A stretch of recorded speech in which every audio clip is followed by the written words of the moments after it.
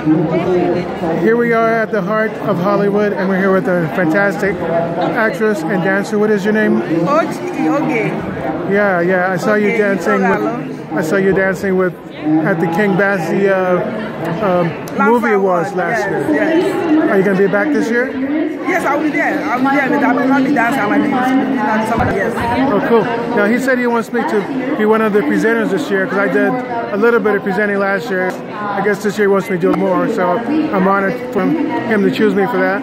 Oh, that's good. So I'll, I'll, I will see you there. Yeah. Now, how can we find you on Facebook? Oh, I'm SC Oge. Iloghalu. So once you put that, you see me. Could, could you spell it? Okay, SC. Then another name is OGE. Then last name is I L O G H A L U.